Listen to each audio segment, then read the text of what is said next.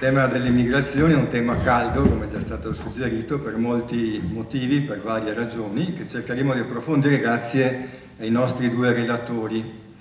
È stato affrontato da Papa Francesco in tante occasioni, non ultima domenica scorsa, 105 giornata mondiale del migrante e del rifugiato l'omelia di ieri, l'inaugurazione della scultura in piazza San Pietro, non so se avete presente, la nave con i migranti di varie nazionalità ed epoche storiche e soprattutto il messaggio per la stessa giornata. Sono stati momenti molto forti, hanno suscitato approvazione ma anche reazioni diverse, qualcuno anche, qualche reazione anche caratterizzata da un senso di fastidio.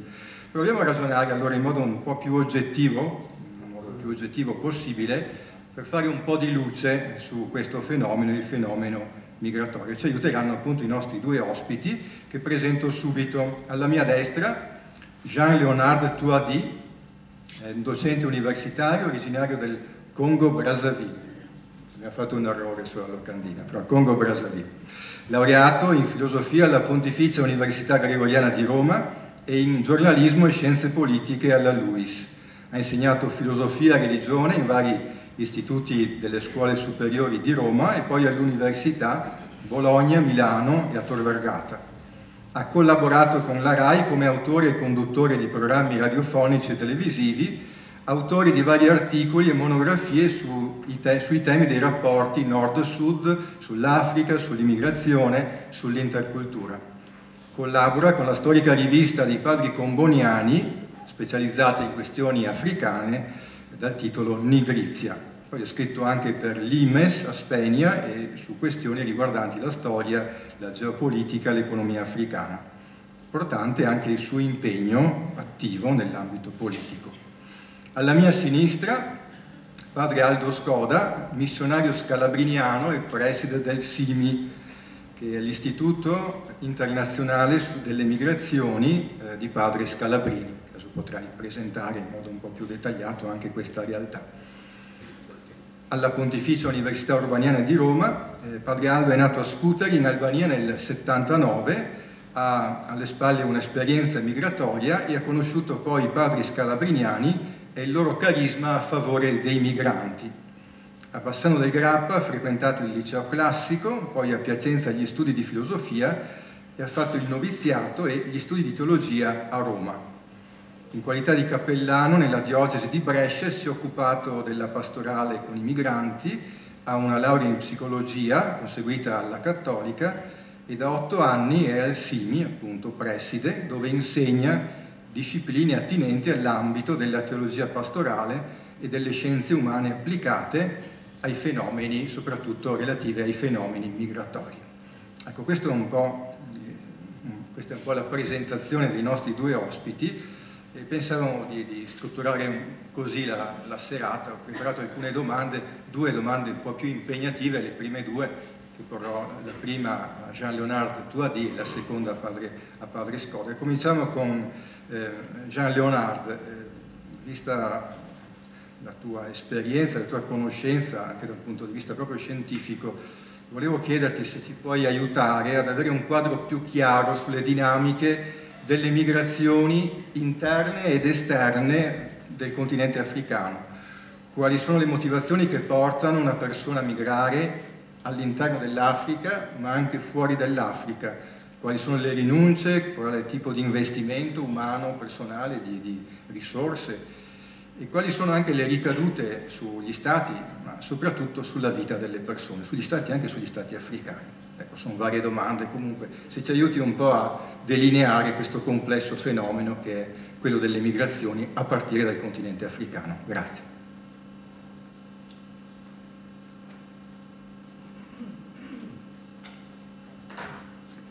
Grazie, grazie al nostro moderatore, grazie al vescovo che ci ha accolto in questa diocesi grazie a, a voi tutti che state qua questa sera.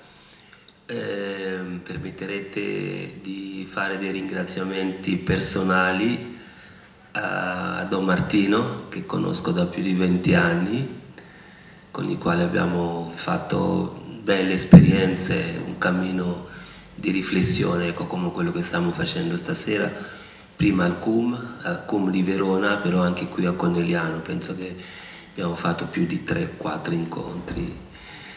E saluto le amiche di sempre che ci hanno accompagnato in questo percorso, vedo Serena da qualche parte e altre ancora. Ehm, è una serata importante perché noi viviamo, mi permetterete questa prima introduzione, ehm, sospeso nell'istante in una società dello spettacolo, la chiama Guy Debord, che è un, uno studioso di comunicazione di massa.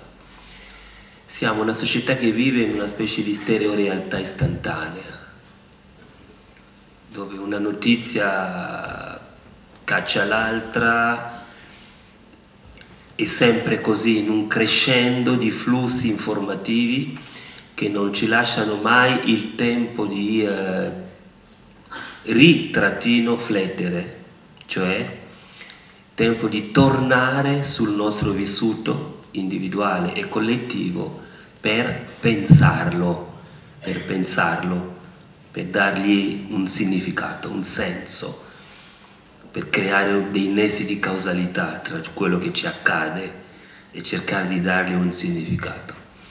Quindi questo che stiamo facendo stasera è quasi un lusso per la società nella quale viviamo, il, il fatto di fermarsi per ri-flettere, per tornare sul nostro vissuto. E il vissuto di questi ultimi anni, di questi ultimi decenni, ci consegna l'immigrazione come la cifra della nostra contemporaneità, anzi una delle cifre della nostra contemporaneità una questione globale.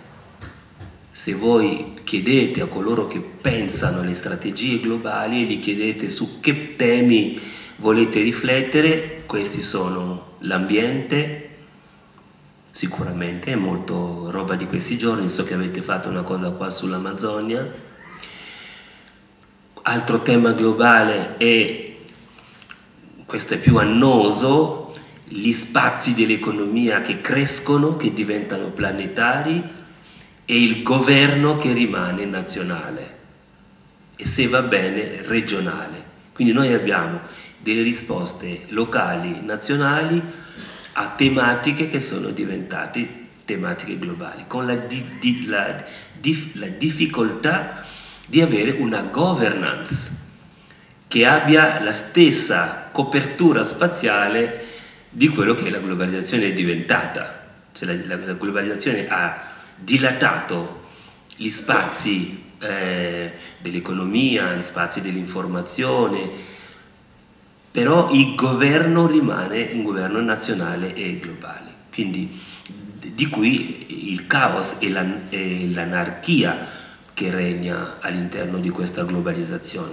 perché manca direbbero gli scienziati della politica, manca un leviatano, manca qualcuno che governi tutto questo e riconduca le varie istanze dei territori globali a una eh, armoniosa ricomposizione. Ed è un dibattito che non può non interessare una comunità che si chiama cattolica, perché a noi piace, noi siamo quella dimensione universale eh, però ci rendiamo conto che dentro questa dimensione diventata globale ci sono delle cose che non ci piacciono, per esempio la globalizzazione dell'indifferenza, come la chiama il Papa Francesco. Quindi temi, temi epocali e tra i temi epocali l'ambiente, il governo della globalizzazione c'è sicuramente l'immigrazione, che è la cifra della nostra, una delle cifre, come dicevo, della nostra contemporaneità. Cioè la grande questione, noi la chiamiamo immigrazione, ma è, riduttivo, in realtà la grande questione della mobilità umana. L'uomo si è sempre mossa e a proposito di Africa, la prima migrazione africana avviene centinaia di milioni di anni fa, cioè quando l'Africa è stato il, quel luogo, quel teatro dove la nostra specie umana ha compiuto il processo di ominizzazione, cioè il processo che ci ha portato dalla condizione di scimmie antropomorfe alla condizione di Homo sapiens sapiens.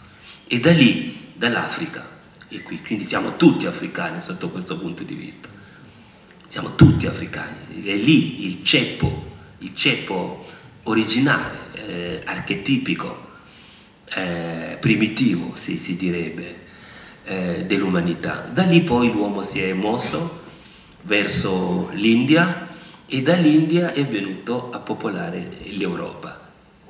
Quindi nulla di, di, strano nella mobilità umana. La mobilità è, in, è dentro la condizione umana, l'uomo si è sempre mossa. E perché gli uomini si sono mossi? Perché il deserto eh, del Sahara, che una volta era rigogliosa, durante il Paleolitico, il Neolitico, è diventata una terra non ospitale e quando è diventata una terra non ospitale l'uomo si è mosso. Quindi non consideriamo la mobilità come un fatto straordinario, un fatto connaturato all'uomo, appartiene all'uomo muoversi alla ricerca della difesa del primo di tutti i diritti, che è il diritto alla vita. E quando le condizioni di vita non permettono più a, ad essa di svolgersi, l'uomo si muove. E quindi l'Africa è stata questa, la terra dove tutti noi siamo venuti. È, è, è una terra primordiale.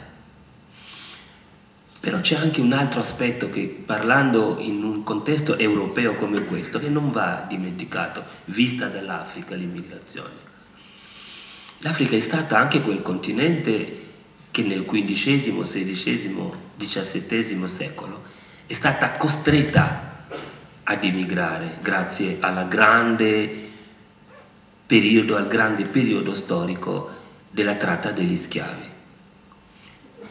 Milioni e milioni di africani costretti a lasciare la loro terra attraversando in condizioni durissime l'Atlantico per andare nelle Americhe a lavorare, il che ha creato quello che noi chiamiamo l'Africa diasporica, perché accanto all'Africa che c'è in Africa c'è l'Africa diasporica, che è composta da tutti i neri che durante la, la tratta degli schiavi sono andati negli Stati Uniti, Santo Domingo, a Cuba e in tutti i luoghi dove questi schiavi sono andati a vivere.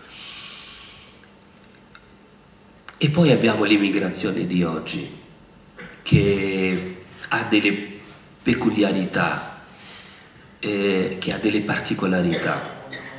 Intanto, la domanda eh, delle domande, ma è vero che tutti questi negri vogliono venire in Italia? È vero che tutta l'Africa si vuole trasportare in Europa? È uscito anche un libro recente di Philippe, il, di, di Philippe Rémy, non è ancora stato tradotto in italiano, la, la, la, grande, invasion, la grande invasion africaine, la, gra, il, la grande invasione eh, africana.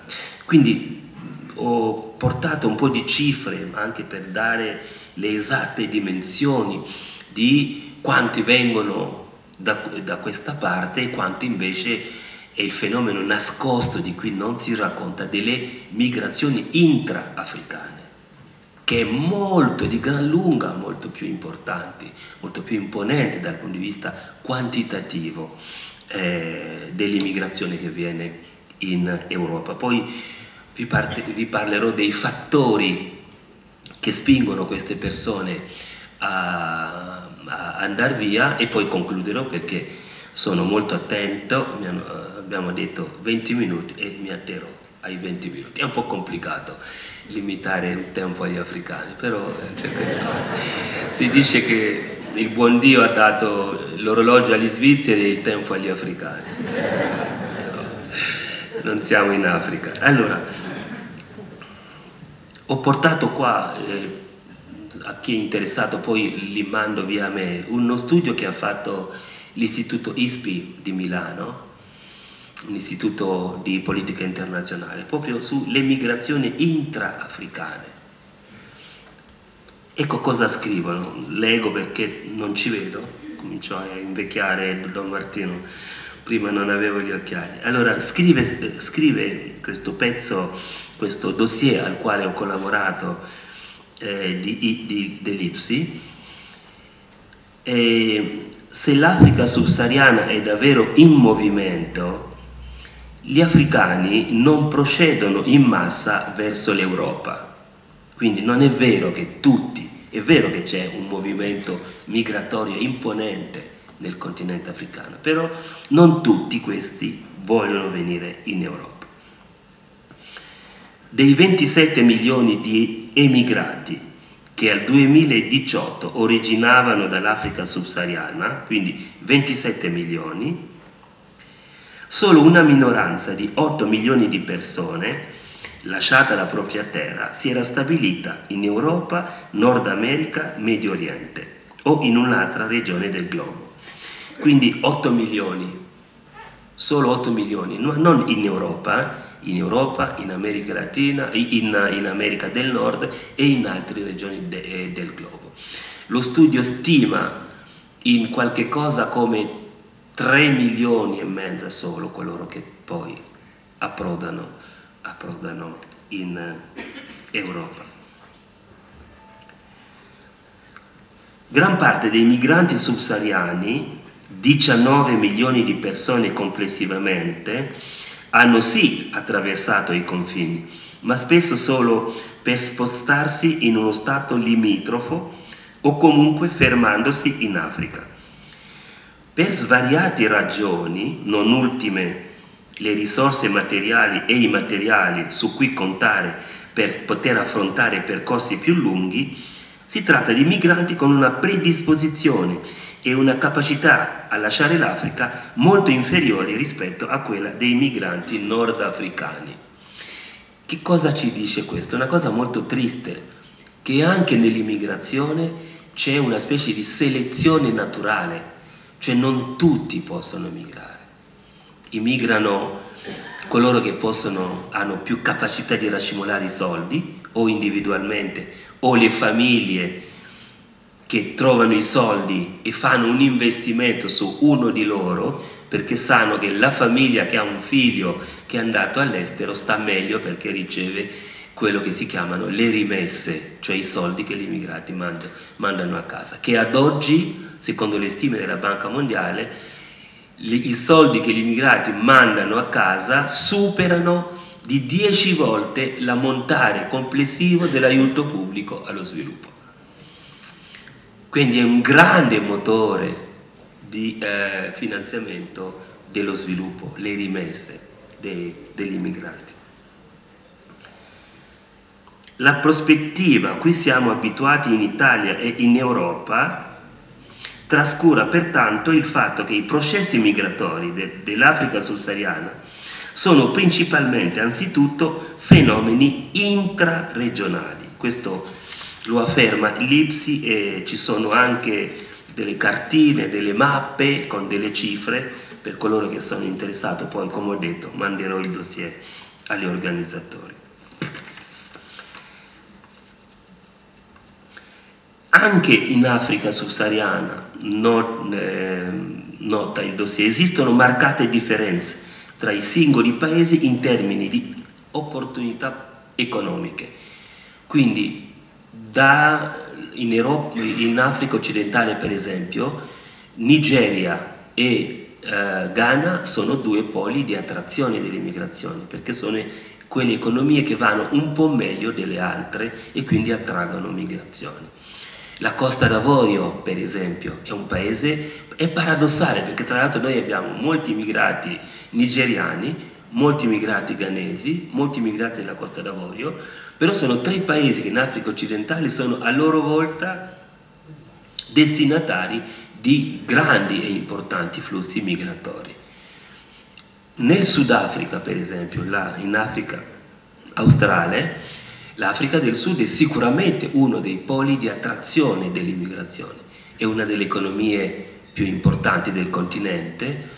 Da soli Sudafrica e Nigeria fanno due terzi del PIL di tutto il continente africano, quindi potete immaginare la capacità attrattiva del Sudafrica, soprattutto dopo, dopo l'apartheid, anche se mentre stiamo parlando ci sono violenze dei sudafricani neri contro gli immigrati subsahariani. Pensate come è strano, no? tutta l'Africa che si era mobilitata per l'apartheid, contro l'apartheid, oggi c'è la violenza dei sudafricani contro i migranti che vengono dal Botswana, dall'Esoto, dal Mozambico, dallo Zimbabwe ed è un fatto estremamente pesante che, in, che, interroga, interpella la politica sudafricana. Anche lì dei partiti sudafricani hanno soffiato sul fuoco della, della xenofobia. No? Non si può dire razzismo perché sono neri contro me, però contro il fuoco del, è una drammatica e tragica guerra tra poveri, quella che sta andando in onda in, in Sudafrica.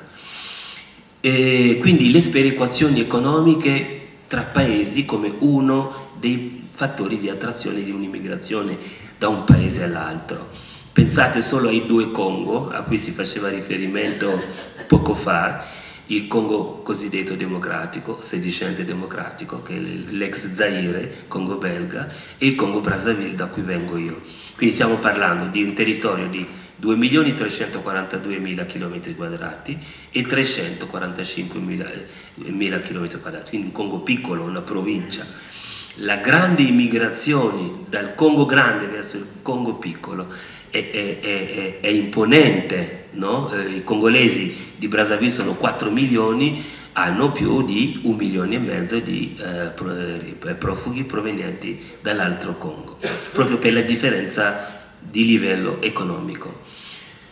Quindi le sperequazioni economiche, i conflitti, i conflitti, ci sono qui i dati che dicono per esempio che l'Uganda, che è considerato un paese modello in materia di rifugiati, perché l'accoglienza in Uganda è diffusa, i rifugiati e i migranti hanno accesso ai servizi essenziali, scuole, sanità, non vengono rinchiusi nei campi ma vengono dati loro degli appezzamenti di terra, possono circolare liberamente all'interno, eh, all dentro l'Uganda, ebbene l'Uganda con dei paesi turbolenti dal punto di vista della stabilità che sono la Repubblica Democratica del Congo, il Burundi, so che avete rapporti missionari con il Burundi, che è un paese che sta sull'orlo della guerra civile, siamo veramente molto preoccupati, e l'Uganda accoglie 1.500.000 rifugiati anche dal Sud, Sud Sudan. Quindi le sperequazioni economiche, i conflitti che sono un fattore, un potente fattore di espulsione delle persone dalle loro terre. E aggiungo un altro elemento che anche qui il dossier analizza, è qualcosa con la quale dovremo fare i conti nel futuro, secondo le stime dell'ONU e secondo le stime della FAO, dove lavoro, eh, i cambiamenti climatici. I cambiamenti climatici stanno diventando forse il più importante fattore di espulsione dell'immigrazione dall'Africa vi cito solo due esempi, eh, perché tra, tra, un po' concludo. Il primo esempio è il bacino del lago Chad. Non, non tutti voi conoscete il lago Chad, però è uno dei più grandi laghi africani dove affacciano il Chad, il Camerun, il Niger e la Nigeria, quattro paesi, le cui economie di quelle zone erano determinate dalla presenza del lago Chad sia come risorsa ittica, sia come eh, bacino del lago Chad che comunque fertilizzava le terre intorno e dava l'acqua per l'irrigazione. Quanti di voi sanno che il lago Chad in vent'anni ha perso tre quarti della sua acqua? Espellendo milioni e milioni di persone. Quindi in quell'area dell'Africa, se mettete eh, il mix tra prosciugamento del lago Chad e la presenza di Boko Haram, potete immaginare quanta vita ci può essere dentro quel territorio. L'altro aspetto è l'avanzata del deserto. Il deserto avanza. Ero ancora al liceo, mi pare, quando si parlava del grande muro verde da erigere eh, nel Sahel per fermare l'avanzata del deserto. Il muro verde significa piantare degli alberi, perché là dove si piantano degli alberi le piogge tornano e se tornano le piogge si può coltivare e se si può coltivare le popolazioni possono rimanere nelle loro terre. Ora il deserto avanza velocemente, velocemente e, e quindi anche in quei paesi sfigati sfigati, lo capite i giovani, a Roma si dice, eh, in quei paesi sfigati dove, si, dove pioveva due mesi su dieci, in questo momento piove un, eh, un mese su dodici. Quindi siccità, chi dice siccità, quindi incapacità di, di, di, di eh, coltivare, e tenete presente che per la crisi del debito, quei paesi del Sahel sono coloro a cui è stato imposto di coltivare il cotone come unica fonte di reddito di valuta estera per pagare il loro debito. Ora, se pianti il cotone, non pianti quello che serve per, per mangiare. Se piove poco e alimenti il cotone, non hai di che, di che mangiare. E così possiamo moltiplicare i casi per cui i cambiamenti climatici ci costringeranno, dice l'ONU, a riflettere sempre più in termini di rifugiati climatici, di rifugiati ambientali. Quindi vado verso la conclusione, dico l'ultima parola, quindi l'Africa è interessata da questi grandi flussi migratori che hanno, eh, questa è una questione che, che interessa l'Italia, noi siamo eh, abituati a pensare noi, l'Europa, il sud dell'Europa, il Mar Mediterraneo, il Maghreb, il Maghreb come frontiera meridionale eh, dell'Europa. Invece la frontiera meridionale d'Europa si è abbassata.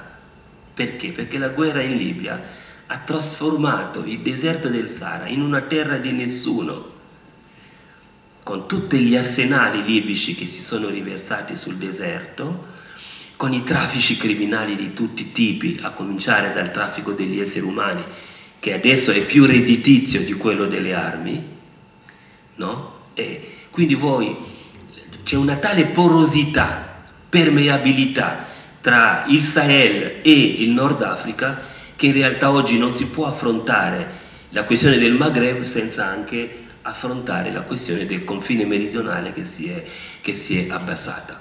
Termino solo dicendo, ecco che parlando di migrazioni in Africa, migrazioni degli africani, noi stiamo facendo una riflessione su modello di sviluppo, quindi torno a quello da cui siamo partiti, alla globalizzazione, che delle responsabilità ha in quello che sta accadendo. I conflitti, per esempio, non sono conflitti etnici, non sono conflitti tribali, a meno che le multinazionali siano considerate come grandi tribù, allora sì, sono guerre tribali. In realtà sono guerre contemporanee, sono guerre per le materie prime, sono guerre per le energie e così via dicendo. Un diamante per la vita la via condotti a Roma significa dei bambini di 10 anni con, la, con i piedi sotto l'acqua per 12 ore in Congo per setacciare il fiume alla ricerca di diamanti.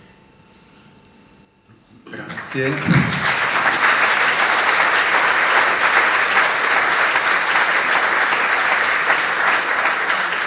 Grazie Gian Leonardo che in un tempo circoscritto sei stato capace di dare i punti fondamentali un po' per così eh, muoverci con eh, sufficiente accortezza dentro questo grande fenomeno complesso della eh, migrazione, delle migrazioni dell'Africa e dall'Africa.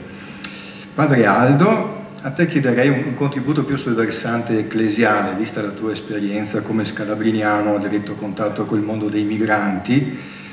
Vorrei chiederti appunto se ci aiuti a inquadrare il fenomeno delle migrazioni da una prospettiva più ecclesiale, che cosa significa per la Chiesa questa complessa realtà delle migrazioni, in particolare anche in questo caso delle migrazioni dall'Africa. Grazie un saluto a tutti i presenti, in modo particolare un ringraziamento anche a Monsignor Pizziolo che uh, ha voluto anche questo incontro qui e mi ha colpito, mi hanno colpito le parole, eh, Monsignore, la possibilità di ragionare, di parlare in maniera con serenità, eh, con approfondimento e verità la questione migratoria. E credo che questa sia una sfida fondamentale oggi, eh, non solo per le società, intese appunto come società nazionali, società locali, ma anche per eh, le comunità cristiane. E siccome eh, la, eh, il mio intervento vuole un po' sottolineare maggiormente l'aspetto cristiano, una visione, se vogliamo, eh, ehm, a partire dalla, dalla, dai valori cristiani e dalla Sacra Scrittura in modo particolare, richiamerò alcuni elementi eh, sulle migrazioni, beh, non posso che non cominciare con un aneddoto, un racconto, storico comunque, eh, di Monsignor Scalabrini, che è anche il fondatore dei missionari scalabrignani, eh, una congregazione nata alla fine dell'Ottocento eh, per eh, aiutare, accompagnare i migranti italiani che anche da queste terre venete partivano a migliaia. E eh, quando Monsignor Scalabrini si trova di fronte alle persone che da Piacenza, un terzo della sua diocesi, va via, un terzo delle persone, della popolazione della sua diocesi va via, e si fa una domanda, come la Chiesa può affrontare, come un pastore può affrontare questa emorragia umana e anche religiosa. E in un incontro divenuto emblematico, una lettera che gli viene mandata dal, dagli Stati Uniti, eh, una richiesta di un italiano che scrive a uh, Monsignor Scalabrini dicendogli Monsignore ci mandi un prete, perché qui si vive e si muore come degli animali. E di fronte a questa grande sfida, grande richiesta e grande compito morale che Scalabrini sente, vola, vola va, allora non c'era niente, ma va in, a Roma a confrontarsi eh, con diversi dicasteri anche del Vaticano e in molte volte si sente dire ma non c'è bisogno di occuparsi molto eh, o di mettere su strutture o addirittura congregazioni a favore del, dei migranti, degli italiani all'estero tanto l'emigrazione finirà, durerà pochi anni e poi la gente smetterà di partire. Bene, siamo nel 2019 e ancora l'emigrazione non solo non è finita, ma ovviamente, come abbiamo ascoltato anche eh, professore, ovviamente continuerà e aumenterà e in modo particolare grazie anche, o sfruttatamente, grazie anche a queste dinamiche di ingiustizia economica o di produzione di conflitti. Il Santo Padre domenica all'omelia ha richiamato fortemente l'ingiustizia, la produzione e la vendita di armi, eh, l'impoverimento di molte zone del globo e della terra eh, che causano la fuga delle persone, ma ahimè proprio quelle nazioni o quelle comunità che sono la causa principale di questo impoverimento sono a volte anche quelle comunità che più si accaniscono contro i migranti e contro i rifugiati che questo sistema produce. E allora di fronte a questa situazione la Chiesa e eh, ovviamente in modo particolare oggi ha qualcosa da dire, non perché abbiamo scoperto oggi eh, il fenomeno migratorio e non perché eh, il fenomeno migratorio eh, stia diventando una moda della teologia o della riflessione eh, ecclesiologica pastorale, e, ma perché nel DNA proprio della, della, Chiesa stessa sta il fenomeno migratorio. E lo richiamerò.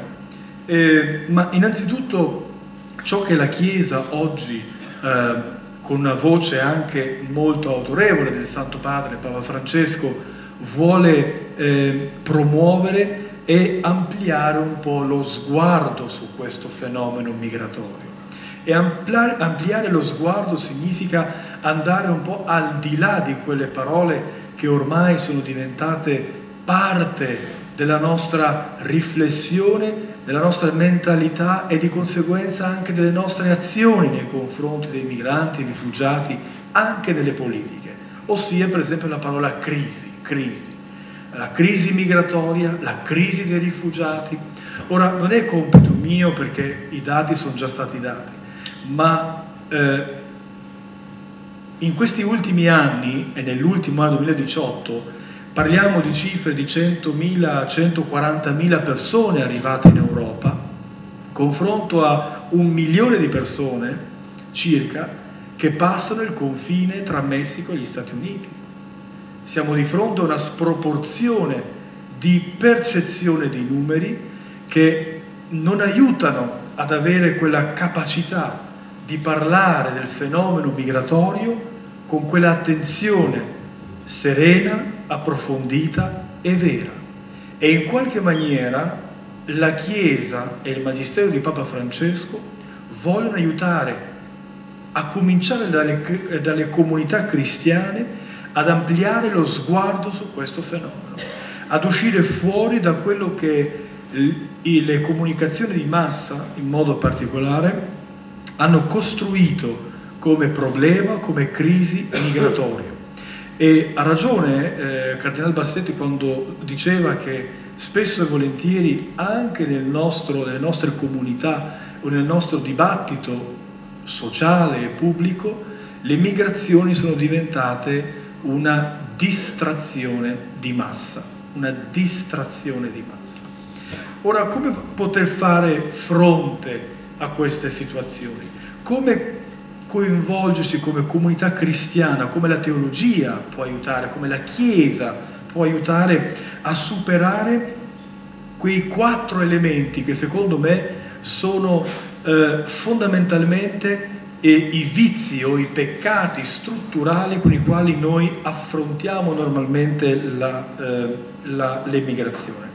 E il primo vizio capitale col quale noi analizziamo eh, riflettiamo e agiamo nel mondo della mobilità umana è quella della parzialità dell'analisi, la parzialità della visione, la parzialità dello sguardo.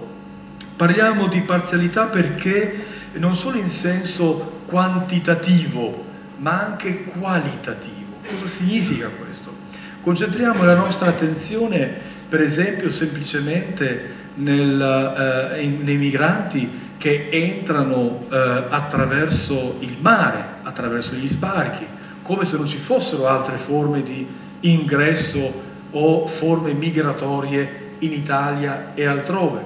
Concentriamo la nostra attenzione su alcune categorie di persone creando addirittura stereotipi o pregiudizi nei confronti del, dei migranti e dei rifugiati e non siamo attenti a capire le molteplici dinamiche che coinvolgono individui, famiglie, contesti, istituzioni.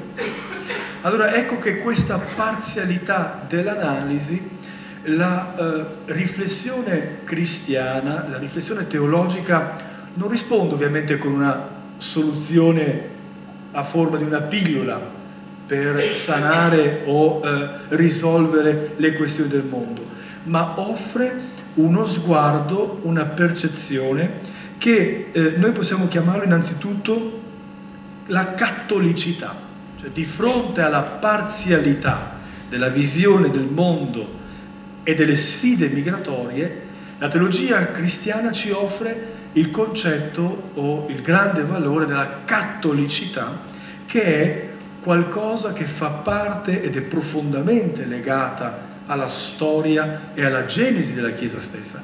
E quando eh, parlo di cattolicità non intendo ovviamente della rettitudine della dottrina, diciamo così, eh, eh, ma parlo proprio nel suo eh, senso etimologico, cioè una Chiesa cattolica che significa una comunità universale.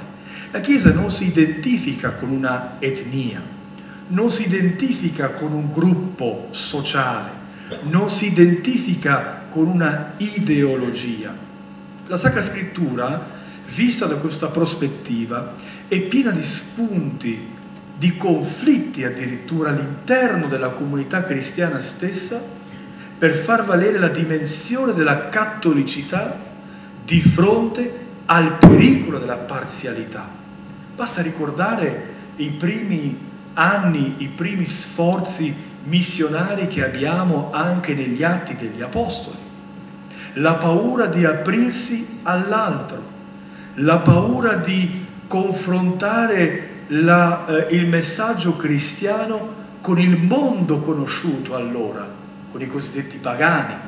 E il grande coraggio che i primi apostoli, i primi missionari hanno avuto nel portare il Vangelo e eh, eh, la, diciamo così, la, la Gesù in tutto il mondo, a cominciare da quei luoghi dove il mondo aveva un significato profondamente diverso dal punto di partenza dove partivano questi missionari. La cattolicità come strumento quindi per aiutare la comunità cristiana e la comunità sociale a superare quella chiusura che spesso noi viviamo all'interno delle nostre comunità, all'interno delle nostre società. Ripeto, non è la soluzione questa, ma è una marcia da ingranare verso la direzione giusta. Il secondo elemento, credo, che fa problema nell'affrontare il discorso del fenomeno migratorio è la temporaneità. Vi raccontavo prima di Scalabrini. Cosa vuoi? L'emigrazione ha un inizio, uno sviluppo massimo che agita tutti e poi prima o poi finirà. Ma eh, e questo ovviamente significa che eh, la temporaneità del fenomeno produce anche, anche delle soluzioni deboli, temporanee, parziali, profondamente inefficaci, delle soluzioni che certamente non vedono nell'emigrazione una risorsa, ma vedono continuamente nell'emigrazione un problema da gestire. La parzialità, la temporaneità del fenomeno però porta anche allo svilimento della dignità umana. Io ti tengo qua finché mi servi. Nel momento in cui non mi servi più, ti mostro la porta e la strada di casa. E questo ovviamente ha creato anche dei problemi profondi della struttura della concezione della famiglia stessa, della dignità umana. Porto un solo esempio profondamente legato anche all'emigrazione italiana negli anni 60, negli anni 70, in Germania e in Svizzera per esempio, dove i migranti erano considerati dei lavoratori ospiti. Finché tu avevi un lavoro, finché tu potevi contribuire in qualche maniera attivamente alla comunità, eri utile.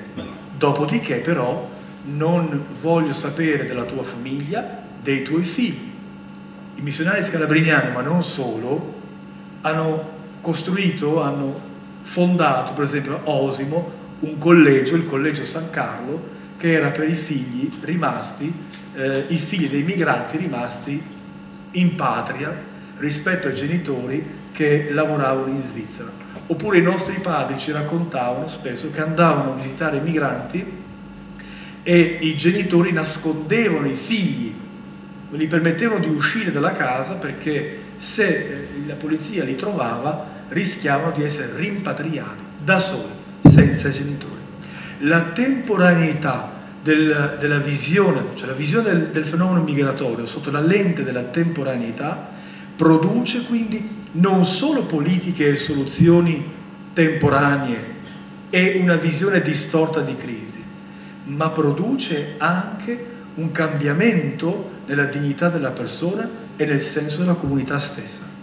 E allora qui la risposta della teologia, la riflessione, la, diciamo così, la, la, eh, l'obiettivo che possiamo mettere in qualche maniera per comprendere, per far fronte alla temporalità del, del, del fenomeno migratorio, è quello della escatologia. Ora dico una parola che ovviamente il pubblico eh, eh, clericale sicuramente è, è, è, è più, eh, diciamo così, abituato, ma che cosa significa? Significa semplicemente che eh, la, il, tempo, il tempo non è fisso nel qui ed ora, ma l'uomo è aperto a un orizzonte di significato e di fede molto più grande della temporaneità dei propri giorni. Siamo aperti a un orizzonte e la Sacra Scrittura è molto chiara in questi richiami. Proviamo a pensare alla bellissima immagine della Gerusalemme celeste, di questa città aperta con dodici porte dove entrano persone di ogni cultura, razza, nazione, estrazione sociale, eccetera.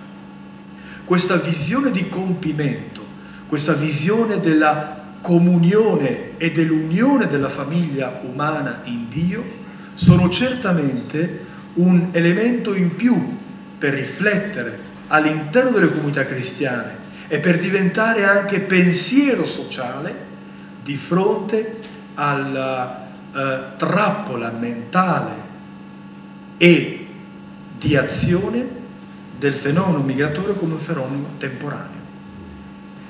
Terzo elemento importante è la localizzazione del problema e della risposta.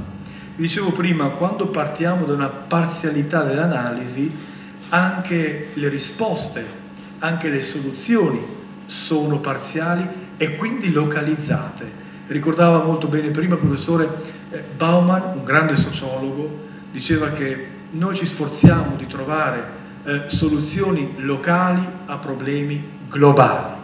Bisogna modificare anche il nostro approccio a queste situazioni.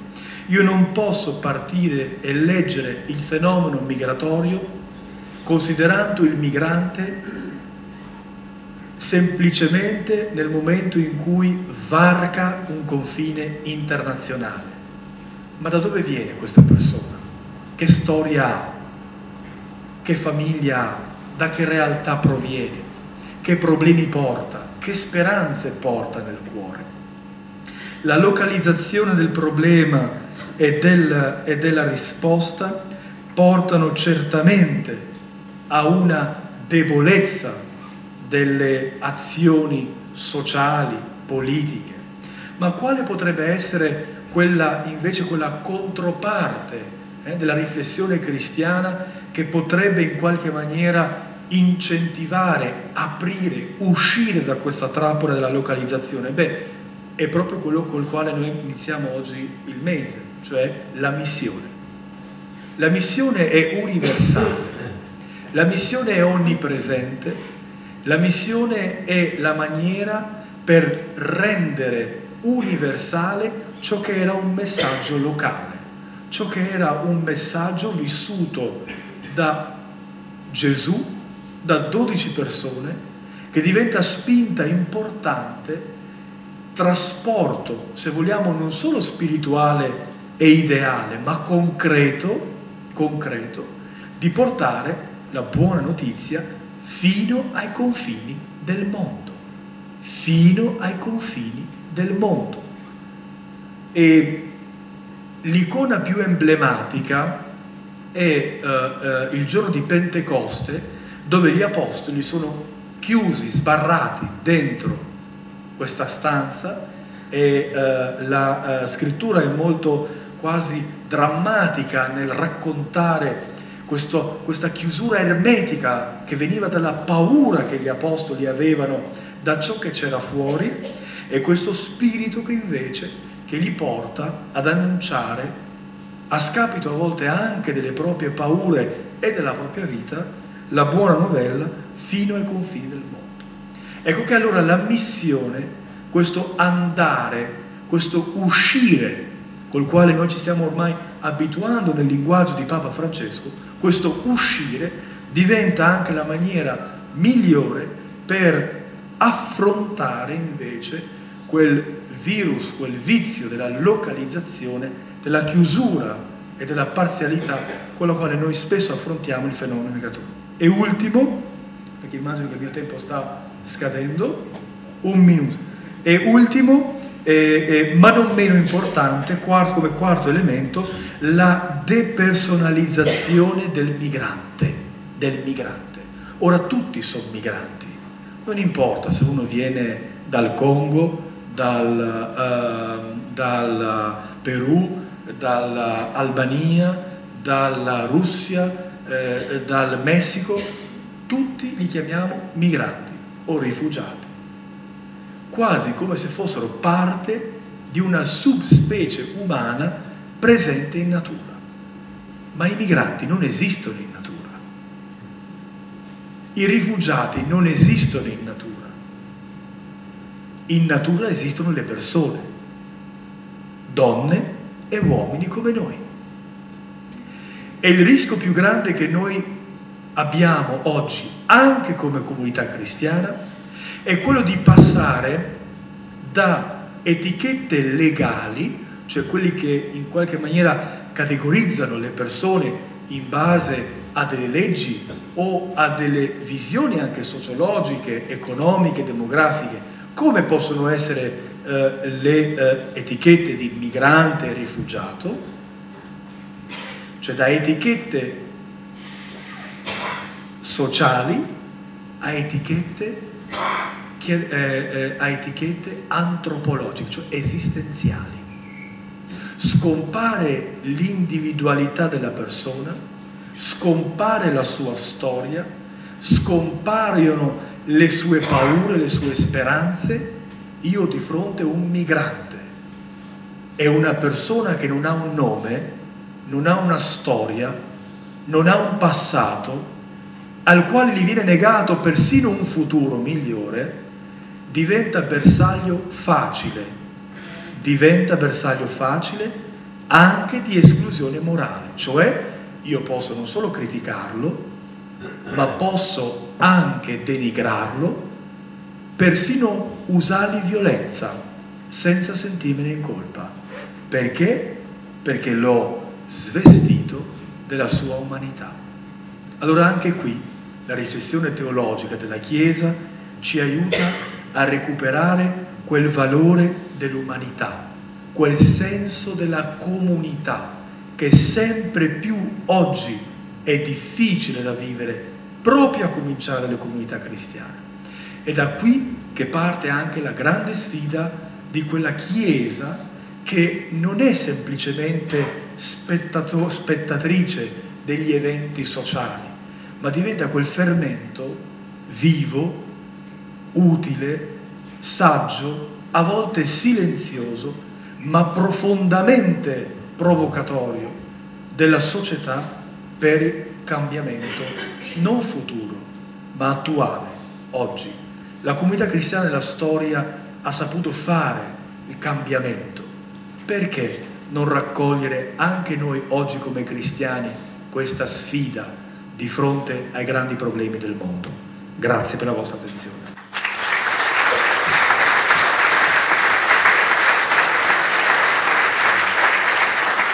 Grazie a Padre Aldo per questa rilettura credente, teologica del fenomeno della migrazione e ci aiuta a vedere come la fede ci fa scoprire le ambiguità di una certa lettura appunto del fenomeno migratorio letture a volte, come potremmo dire, viziate da, da, comprensioni parziali che emergono anche, adesso mi tiro un po' una zappa sui piedi, da, dai mass media, dai giornali, no, dagli strumenti di informazione che talvolta presentano, eh, in molti casi proprio, come diceva Padre Aldo, in modo localistico, insistendo sulla temporaneità, sulla parzialità dei fenomeni, personalizzando i migranti. Ecco, a volte ci presentano così il fenomeno migratorio e, e le persone coinvolte da questo fenomeno. Secondo te, eh, Jean Leonardo, quali sono i motivi che stanno alla base di una lettura all'interno, in modo particolare, dei, dei mass media eh, di questo genere del fenomeno delle migrazioni? 5, ok, grazie. E, e, la questione della comunicazione dell'immigrato, del, sul cosiddetto fenomeno migratorio. Eh, io arrivo in Italia negli anni Ottanta e, e ci veniva detto, ha ragione, abbiate pazienza, siamo nuovo al fenomeno dell'immigrazione, fino a ieri eravamo un paese esportatore netto di emigrazione e adesso ci scopriamo destinatari di flussi migratori. Dateci tempo per elaborare le risposte alla vostra presenza. E mi sembrava anche una, una richiesta giusta perché rispetto ad altri paesi europei eh, l'Italia ha avuto la storia coloniale che sappiamo sgangherata, parziale, mm, non del tutto all'altezza no? delle ambizioni che le altre nazioni europee avevano avuto e hanno poi avuto concretamente. Quindi era un paese che non aveva, anche per il fatto tardivo della sua unificazione come, come paese, come, come territorio unificato. Non aveva elaborato quell'alfabeto dell'alterità che nel bene e nel male l'Inghilterra, la Francia ed altri paesi con istituti di ricerca, eh, centri, eh, laboratori vari, insomma c'è stato un allenamento di questo paese a costruirsi un'architettura, un alfabeto dell'alterità. Eh, e noi ci siamo messi a disposizione eh, per insieme agli italiani, insieme ai nostri nuovi concittadini, costruire insieme questo spazio di contaminazione interculturale, questo spazio di impollinazione da, da cui doveva nascere un mondo nuovo, un'Italia sempre italiana, ma che si, si sarebbe fatta ricca di tutti i suoi arricchimenti. No? Eravamo nati altrove, però avevamo saldamente piantato la nostra tenda in Italia e volevamo costruire eh, questo paese che notate bene, la cui multiculturalità non proviene dall'arrivo dell'immigrazione. L'Italia è originariamente un paese multiculturale. Che cosa è l'Italia se non questo grande crogiolo di patrimoni storici, di culture, anche di influssi diversi nel corso, nel corso della storia. Che cos'è l'Italia? È quella erede dell'impero austro-ungarico, l'Italia è quella dalle forti influenze francesi dalle parti del Piemonte, è quella del regno delle due, de, de, delle due Sicilie, è quella araba che ci ha consegnato città, città come Marsh Allah, Marsala, Marsh Allah. Quindi l'Italia si è costituita proprio come strutturalmente un paese multiculturale, multilinguistico, questo lo si dimentica spesso, abbiamo costituzionalmente riconosciute tre lingue, oltre all'italiano c'è il francese e il tedesco, e multireligioso, perché poi eh, c'è la Chiesa Cattolica, c'è quella valdese e così via dicendo. Quindi c'è già insita all'interno dell'Italia una multiculturalità che l'immigrazione semmai viene ad aggiungere un ulteriore, un ulteriore elemento.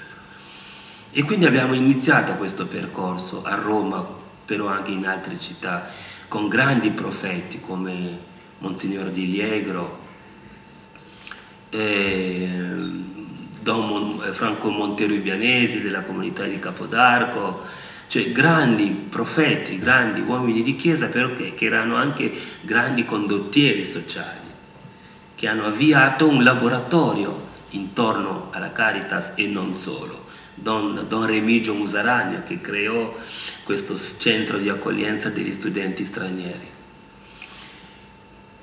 Via via però a metà degli anni 90 abbiamo assistito a invece un processo che si era quasi invertito. Abbiamo cominciato a, a assistere a quello che i sociologi, molti sociologi chiamano la costruzione sociale del nemico, che è andata in onda a rete unificate dalla metà degli anni 90 fino ai giorni nostri, intorno all'accostamento non veritiera nei fatti tra immigrazione e criminalità e poi con l'andare dei tempi con l'esasperazione della questione sicurezza. La sicurezza diventa il luogo mediatico intorno alla quale ha esclusivamente ruotato la narrazione dell'immigrazione. Quindi la, la, la sicurezza, l'emergenza, il padre parlava della crisi, l'emergenza, la crisi, come a piazzare questa, questa, questo, questo grande fenomeno epocale che è l'immigrazione, destinato a cambiare profondamente la società italiana, a piazzarla in una specie di eh, appunto luogo della paura, serbatoio della paura dentro il quale hanno lavorato tutte le imprenditorie della paura. L'imprenditoria della paura ha finito per sostituire quel laboratorio che timidamente con la Caritas, con Migrantes avevamo cercato in quegli anni eh, di creare. Certo abbiamo sbagliato anche noi. Abbiamo sbagliato per esempio folclorizzando l'alterità degli immigrati, dove si pensava che bastava chiamare un immigrato a suonare il tamburo festa, alle feste dell'unità per, per, per, fare l'intercultura, bastava cucinare il couscous da qualche parte per aver fatto l'intercultura. Abbiamo dimenticato che l'integrazione era polvere e sangue che si svolgeva soprattutto nei quartieri più poveri delle nostre città. Era lì dove dovevamo giocarci la grande scommessa della convivenza tra chi arrivava e chi c'era. Purtroppo la politica ha, ha, lavorato sulle paure e ha creato le condizioni per, per, per la guerra tra poveri. Ed è questa un po'. Oggi, oggi quando si dice, è l'unica citazione politica che voglio fare, ma va fatta, quando si dice oggi Salvini, ma Salvini è il frutto maturo di un processo di costruzione del nemico che viene da lontano. Con coloro che invece non la pensavano così, che non sono stati in grado di accreditare nell'opinione pubblica, nei mass media, una narrazione di segno opposto. Anzi, la contagione dell'emergenza sicurezza è diventata patrimonio condiviso di tutto lo schieramento politico italiano, con delle gradazioni diverse. Hanno abdicato i registi, i letterati, i filosofi, i pensatori, coloro che dovevano inoculare dentro la società eh, i, i, gli anticorpi a questa narrazione tutta all'insegna all'insegna della paura. E oggi ci troviamo eh, in una situazione in cui tutto questo si è già sedimentato nel corpo vivo della nazione, del popolo, quelli, quei racconti del bar, quei stereotipi che, che, che, che tu dicevi, che non si riesce più a, a, a contrastare perché sono semplici, immediati. E noi invece vogliamo narrare la complessità. La complessità è difficile da raccontare. E questo è il problema. E per andare alla conclusione, a volte viene lo sconforto perché proprio sembra che siamo in una specie di lavoro di Sisifo, no?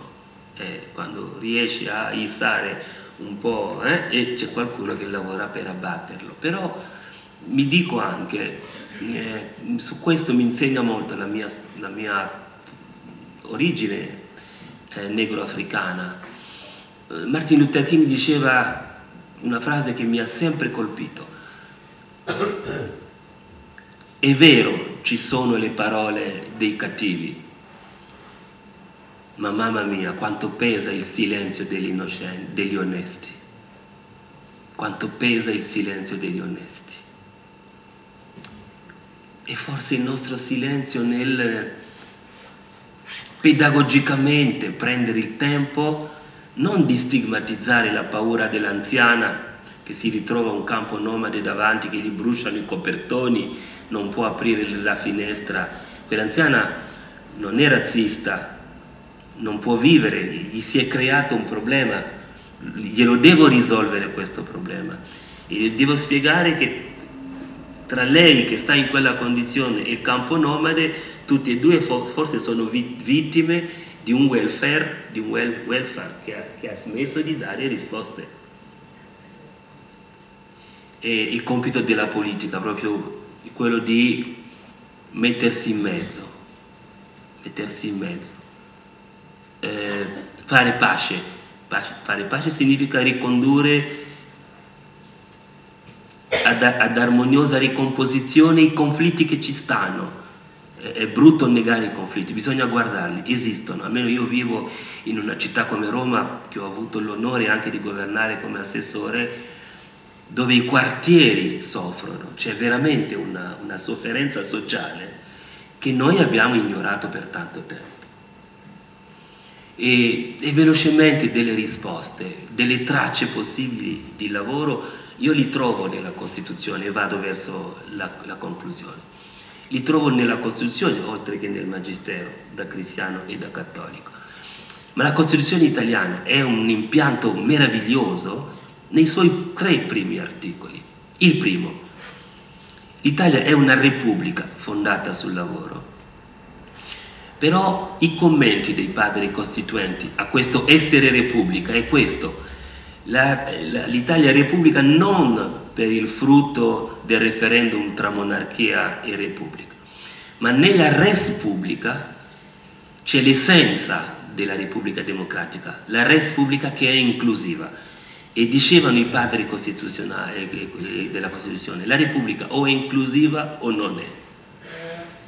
Ed è molto profonda la inclusività. E segue subito il fondamento di questa inclusività sta nel, sec nel secondo articolo della Costituzione. E sentite bene i verbi che vengono utilizzati. La Repubblica riconosce i diritti inalienabili della persona, li riconosce, non li conferisce li riconosce, cioè preesistono alla Repubblica, sono diritti connaturati, appartengono alla persona in quanto persona. E stiamo parlando di gente che ha vissuto in esilio durante il fascismo, la maggior parte dei padri costituenti, e che sapevano che cosa vuol dire la negazione dei diritti inalienabili della persona. E la Cassazione ha sempre confermato che i diritti inalienabili della persona appartengono alla persona e non alla carta di identità, al passaporto e così via dicendo. Da lì, da questi due, discende la terza, il terzo articolo. È compito dello Stato. Non è che lo Stato deve, è compito, c'è qualcosa di dirimente in questo compito dello Stato di rimuovere gli ostacoli che impediscono appunto la piena realizzazione della persona. E quindi l'immigrazione può essere trattata e comunicata politicamente, socialmente e mediaticamente con razionalità e con umanità. È possibile.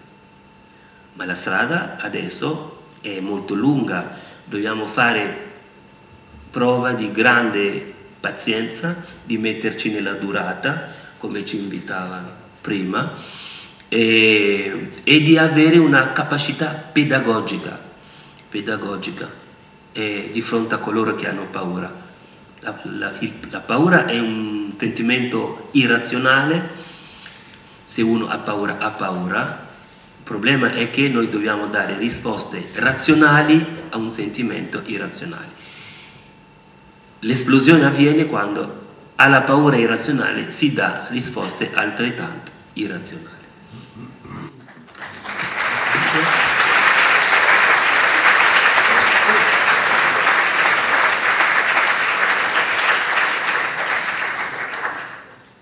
Leonardo parlava adesso di paura, paura è un'emozione. Adesso mi rivolgo a padre Aldo, che è anche psicologo, se, se ci aiuta un po' a comprendere quelli che sono i motivi magari di carattere psicologico, che a volte sono di ostacolo per una eh, corretta comprensione, un corretto modo di vivere eh, il fenomeno dell'immigrazione o semplicemente l'incontro con l'altro. Poi se, se, se ci fosse qualche istante in più, magari noi ci interroghiamo sempre sul nostro stato psicologico, su come noi affrontiamo, come accogliamo, però magari c'è una condizione psicologica anche del migrante no? che affronta il viaggio, che lascia la sua terra. Beh, vediamo casomai un secondo momento eh, successivamente. Ora ovviamente devo affrontare un altro argomento eh, rispetto a prima, ma lo faccio molto volentieri e, e voglio partire con una citazione uh, del filosofo José Ortega y Gasset, eh, molto conosciuto, che in qualche maniera dà uh, subito un po' anche il tono del, del, del mio intervento che viene dopo. Scrive Ortega y Gasset, io sono me più il mio ambiente e se non preservo quest'ultimo, cioè l'ambiente, non preservo me stesso. Quando noi pensiamo alla persona, all'individuo, in realtà dobbiamo pensarlo incarnato in una famiglia, in una società, in una comunità di lingua, di tradizione, di religione, insomma in una cultura. E quando la persona in qualche maniera è costretta a lasciare questo suo ambiente, certamente che anche nella profondità della sua psiche c'è una sorta di discontinuità, una discontinuità che è fatta spesso e volentieri in forma violenta, forzata. Oggi noi assistiamo sempre più a una maggiore caratterizzazione di migrazioni forzate nel mondo, cioè persone che sono costrette a lasciare le loro case. Persone che in qualche maniera per un motivo o per l'altro compiono questo passo di discontinuità. Ora, oggi uno dei problemi davvero importanti e eh, molto delicati da affrontare è anche la questione della salute mentale nella popolazione migrante. Non se ne parla molto, ma aumentano sempre di più ahimè, eh, i ricoveri, a volte anche coatti, cioè forzati, nei confronti di, della popolazione migrante e rifugiata che manifestano nel tempo le conseguenze di traumi cumulativi che hanno vissuto dalla partenza all'arrivo. Abbiamo raccolto la testimonianza eh, tragica di molte persone che oltre al, al fatto della, eh, del lungo viaggio che ha delle conseguenze comunque eh, nel, nella persona, deve affrontare anche umiliazioni, carcerazioni, deprivazioni, violenze e questo ovviamente lasciano traccia nella psiche e nella mente della persona.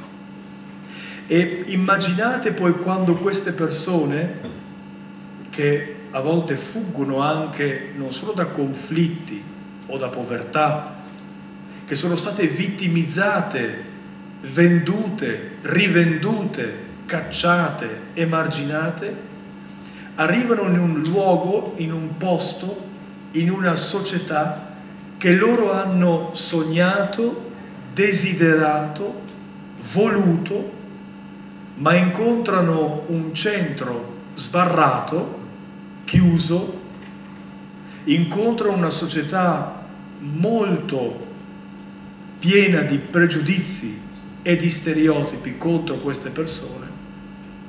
E allora il mix che viene a crearsi certamente porta a quello che è eh, il disequilibrio anche psichico del benessere psicologico del migrante.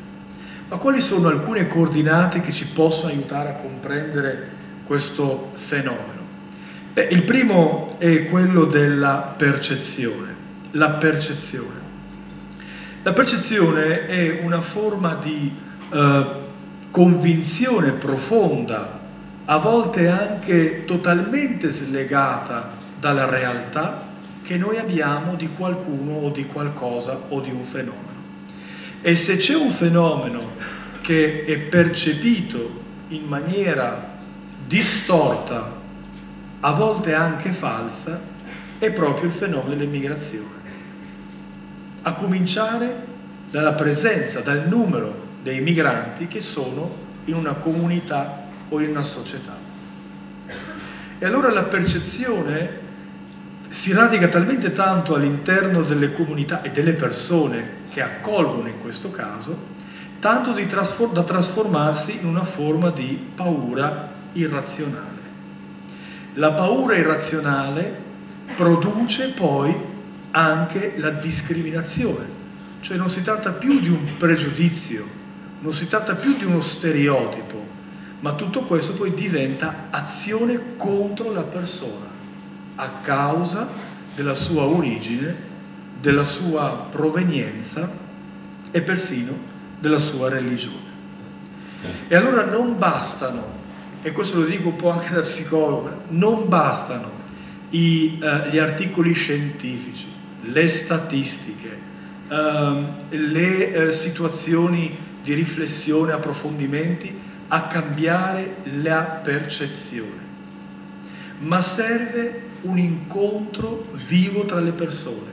E vi faccio un esempio molto semplice, molto concreto le comunità che più hanno paura in Europa dei migranti e che più sono influenzate anche nelle loro scelte politiche dalla paura dei migranti, sono in realtà, e questo è stato studiato in Europa, le persone che meno hanno contatto con queste persone, migranti. Cioè io ho paura di ciò che non conosco. Nel momento in cui inizio a conoscere, a entrare in contatto con queste persone, le ricerche in psicologia ci dicono che anche la maniera con cui io mi confronto con queste persone cambia. E siccome l'argomento è molto ampio, voglio portare una, una, un, un, esempio, un altro esempio molto concreto, è una, è una ricerca che venne fatta eh, negli anni 60 negli Stati Uniti Sapete, gli Stati Uniti, la Francia e altri paesi hanno una tradizione di studi del multiculturalismo molto più grande dell'Italia, anche nella pedagogia multiculturale. E allora volevano capire quando e come nascono i pregiudizi nelle persone. E che cosa hanno fatto? Hanno fatto degli esperimenti molto semplici all'interno delle scuole materne, bambini piccoli. Già allora le scuole materne, gli asili erano multietnici, multiculturali e hanno messo i bambini uno di fronte all'altro casualmente, quindi bambini di origine asiatiche, bambini di origine eh, europee, bambini di origine latinoamericane, bambini di origine africane e gli hanno fatto una semplice domanda. Che cosa c'è di diverso nel tuo compagno o nella tua compagna? Bene, le risposte sono disarmanti. Nessuno, nessuno di questi bambini parliamo, quando parlo di nessuno intendo statisticamente significativo, nessuno di questi bambini ha riportato una differenza connessa all'appartenenza etnica o culturale dell'altro compagno o della compagna, ma tutti hanno identificato la diversità nel vestito, nei capelli, se uno magari aveva un giocattolo in mano, se uno aveva le scarpette, se uno aveva... cioè tutte questioni che non riguardavano l'identificazione etnica, culturale, se vogliamo lì si usa anche la parola razziale, perché siamo negli Stati Uniti in un contesto particolare, eh, per confrontare o per affrontare la diversità. E questo la dice lunga anche su come nasce e su come eh, all'interno delle società viene perpetuata il pregiudizio, lo stereotipo e anche poi la discriminazione. Ma eh, partire, eh, partire, adesso andiamo dalla prospettiva del migrante, partire è un po' come morire. Vi dicevo prima, il me senza l'ambiente non è quasi più un vero me. E allora il confronto con una realtà nuova, il confronto con un sistema politico nuovo, il confronto con un mercato del lavoro non facile, il confronto con una società spesso o a volte chiusa, prova quello che i psicologi chiamano il reality shock o il cultural shock. Ed ecco allora che entra in campo una forma di elaborazione del lutto del migrante, di ciò che ha lasciato nel paese di partenza. E l'elaborazione del lutto del migrante è quello che noi, anche se ci piace dirlo, è l'integrazione. Cioè tu per poter entrare in questo nuovo ambiente devi comunque cedere qualcosa di ciò che ti identificava fino all'altro ieri.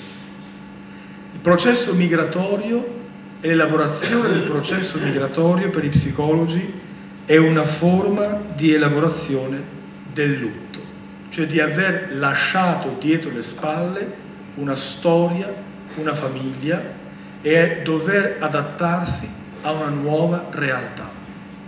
È importante comprendere e capire che gli strumenti psicologici, qui parliamo molto di psicologia sociale, hanno studiato molto questi fenomeni a partire dai, eh, dalle, dai crimini eh, contro l'umanità e di guerra che sono stati perpetuati nella storia. Molti psicologi sociali emigrati negli Stati Uniti che hanno iniziato a parlare di pregiudizio, di stereotipo, di esclusione morale, erano in realtà ebrei scappati, fuggiti dall'Europa, dalla persecuzione nazista e hanno elaborato queste teorie che noi abbiamo visto purtroppo perpetuarsi anche nei conflitti africani, queste atrocità che venivano fatti contro l'altro semplicemente perché l'altro appartiene a un'altra cultura, a un'altra etnia. Sono tutti strumenti importanti, validi per comprendere come a volte di fronte a una percezione distorta del fenomeno migratorio possono nascere non solo i problemi di pregiudizio, di stereotipo, cioè problemi mentali, diciamo, di eh, confronto con la realtà col migrante, ma possono nascere anche delle azioni profondamente contrarie alla dignità dell'uomo, alla dignità della persona umana, fino al suo annientamento morale, che è quello che viene definito l'esclusione morale. Come era possibile eh, mandare a morte, a morire, eh, un'etnia, una popolazione, milioni di persone semplicemente perché appartengono a una cultura o a un'etnia? E come è possibile che delle comunità intere abbiano perlomeno taciuto fronte a queste realtà. Ecco, la psicologia sociale studia proprio questi fenomeni e aiuta le comunità ad affrontare perché situazioni del genere non si ripetano oggi nelle nostre società nei confronti dei migranti e dei rifugiati.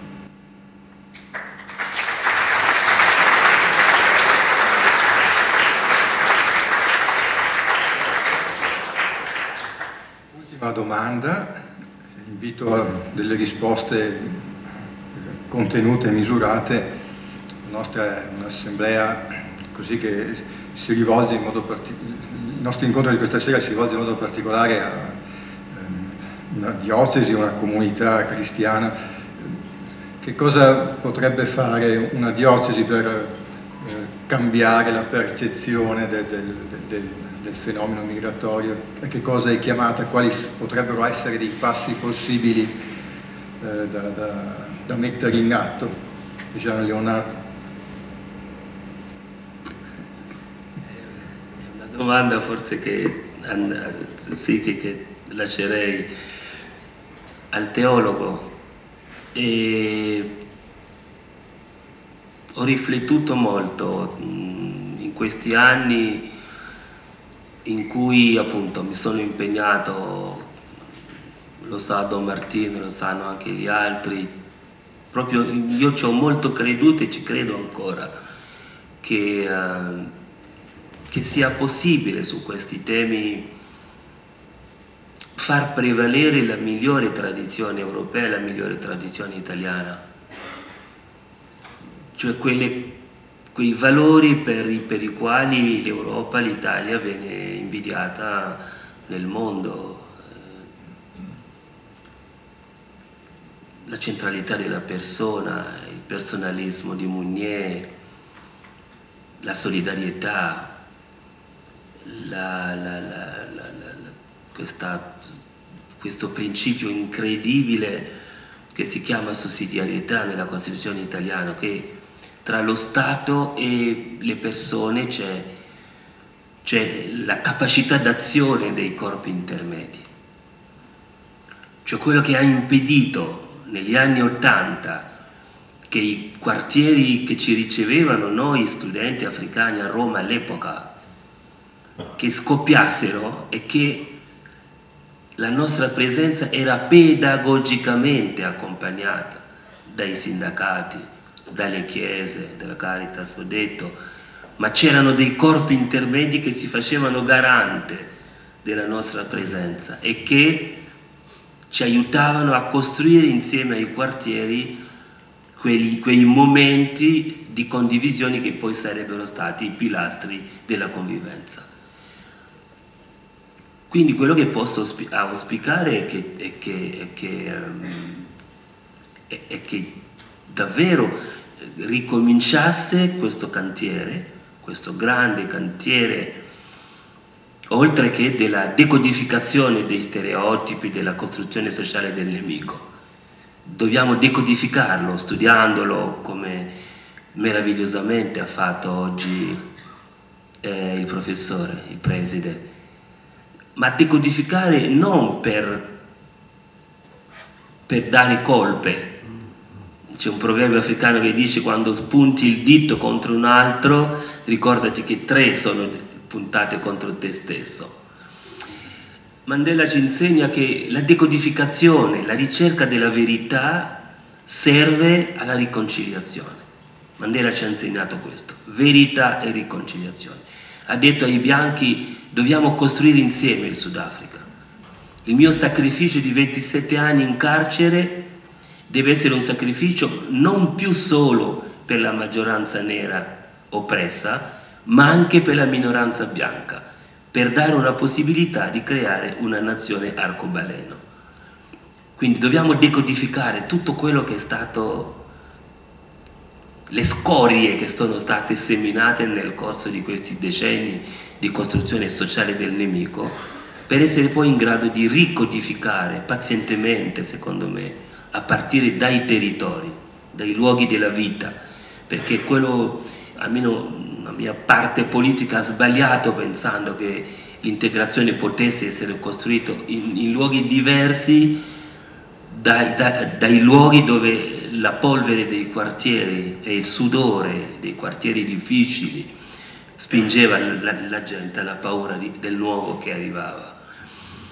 E come figlio di queste due sponde mi sento figlio dell'Europa ma anche figlio dell'Africa da dove sono nato, mi ritrovo un dilemma, il dilemma dell'incontro possibile o dello scontro possibile tra il centro anziano, il centro anziani, che è, che è diventata l'Europa a causa del suo declino demografico, quindi abbiamo il centro anziano e l'asilo nido. Bisogna in qualche modo eh, mettere insieme queste, que, queste due prospettive di vita in modo che possano mettere insieme la, il sapere del centro anziano e il potere della forza emergenza dei giovani.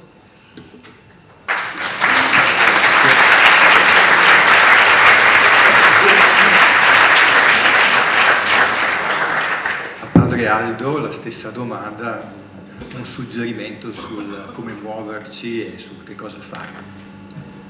Grazie, cercherò di essere proprio eh, telegrafico.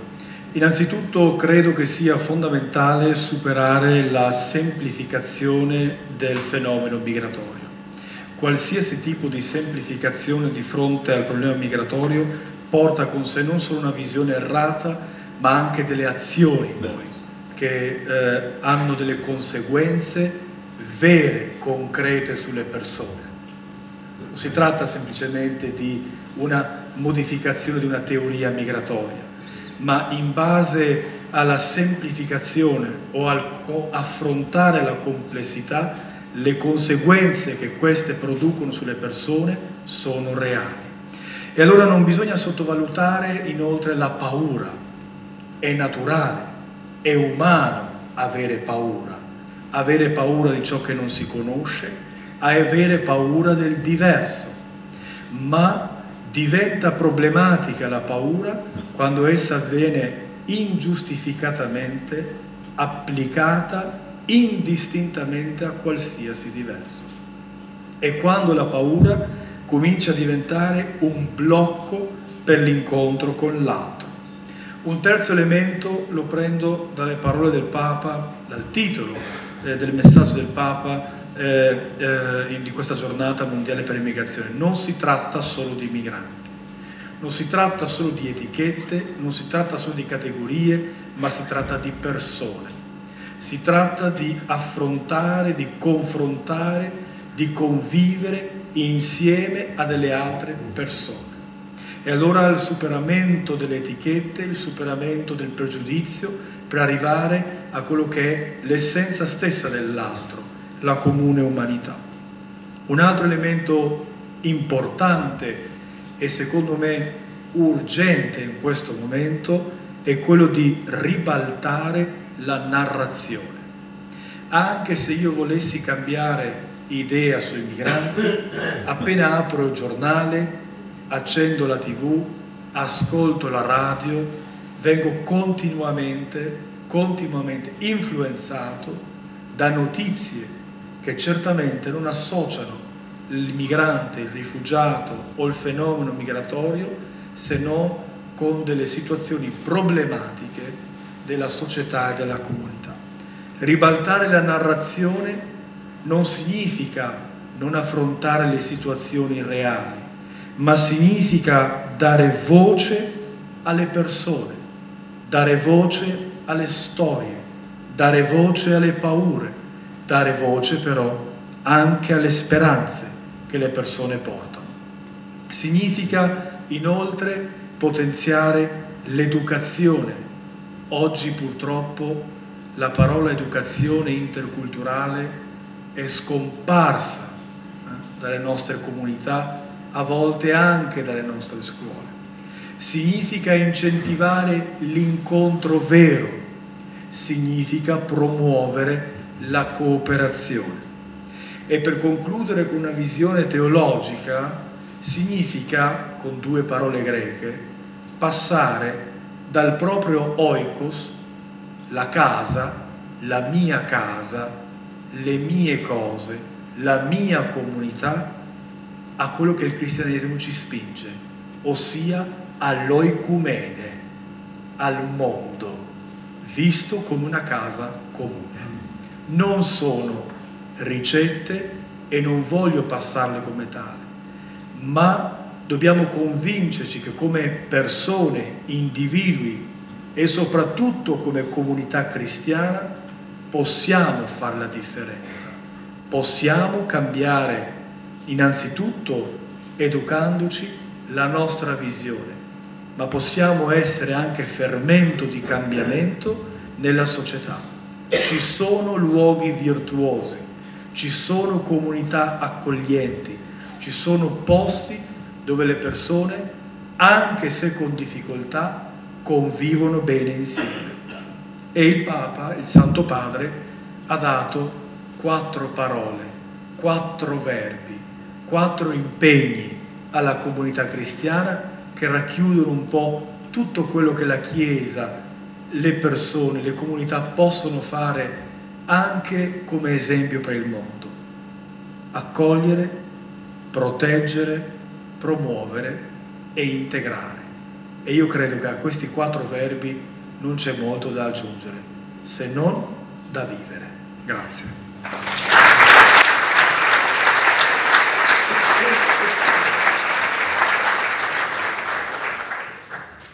Dicevo ai relatori, pensando a questa serata, di avviarsi alla conclusione verso le 22.30, magari qualche minuto in più, ma, ma non troppo, 22.40. Adesso avremo un po' di tempo allora per qualche intervento da parte dell'Assemblea. Eh, c'è un microfono in, che, che sarà prontamente portato niente meno che da Don Martino.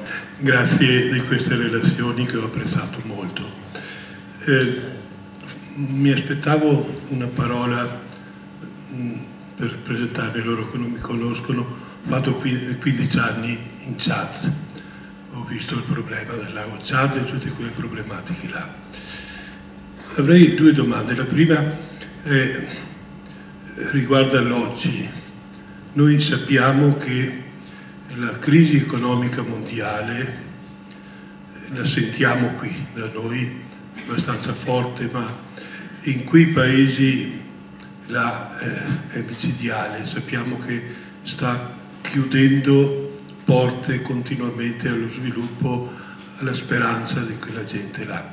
Ecco, quanto questa eh, crisi economica attuale sta eh, aumentando il desiderio, la voglia di emigrare, non è solo una crisi economica, ma è una crisi che proprio perché economica riporta indietro nella relazione con la malattia, ritornando ai guaritori, nella relazione anche eh, della religiosità, ritornando indietro. E la seconda domanda, parliamo sempre di immigrati eh, come una realtà totalmente positiva. In realtà le grandi divisioni sappiamo che sono la, le divisioni etniche, eh, sono eh, il tarlo che eh, ha impedito per tanto tempo lo sviluppo dell'Africa.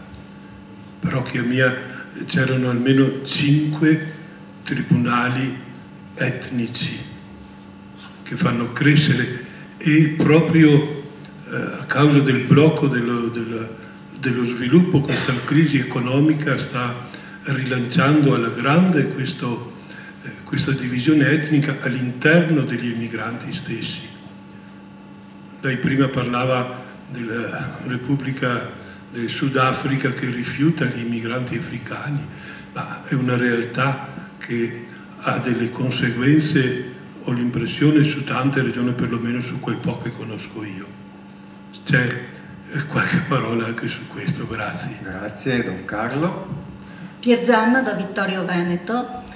Eh, ringrazio Jean Leonard per la premessa eh, che ha fatto all'inizio e cioè la sottolineatura del, della realtà che eh, l'emigrazione è un fenomeno che ha da sempre coinvolto l'umanità. Dico questo per evitare che eh, quando parliamo di migranti eh, diciamo io sono a favore, io sono contro. Non è una questione di favore o contro. Detto questo, vorrei fermarmi un attimino e proporre un esercizio. L'11 settembre sono cominciate le scuole. Tutti noi abbiamo qualcuno che frequenta le scuole, conoscente, parente, nipote, eccetera. Proviamo a pensare quando i genitori iscrivono i bambini, i ragazzi a scuola, il ragionamento che fanno rispetto all'inserimento degli stranieri. Succede che ci si chiede in quella classe quanti bambini stranieri ci sono e sulla base della risposta spesso si fa la scelta di iscrivere i bambini, i ragazzi nelle classi dove si sa ci sono meno stranieri. È, io credo, una realtà. quando ci incontriamo, quanti bambini stranieri ci sono nella tua classe? Ah, allora, se sono tanti. Allora, i bambini sono tutti uguali? Sì, sono tutti uguali, però dobbiamo considerare il modello educativo che ci sta dietro. Dietro ogni bambino c'è una mamma a casa che vive la situazione di donna migrante inserita in una realtà a partire da una cultura totalmente diversa. Mi chiedo se l'attenzione alle donne mamme è posta in modo sufficiente.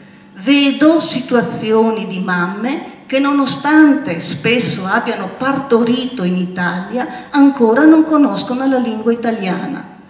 Vedo situazioni di mamme che eh, sono costrette a delegare l'educazione dei figli ai mariti, i quali sono via tutto il giorno al lavoro.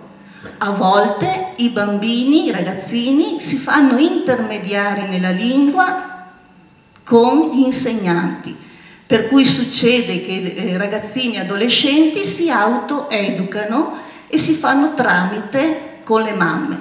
Io credo che arrivati a questo punto un'attenzione grande la dobbiamo porre alla situazione delle donne straniere che, sono, che eh, risiedono qui in Italia perché su questo ci giochiamo un po' anche la questione proprio dell'integrazione perché è facile dire i bambini sono tutti uguali, ma le premesse non ci sono perché possano essere realmente uguali.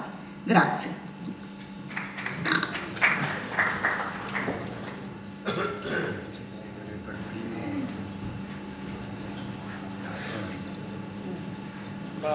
Molto brevemente, grazie, grazie per questi interventi.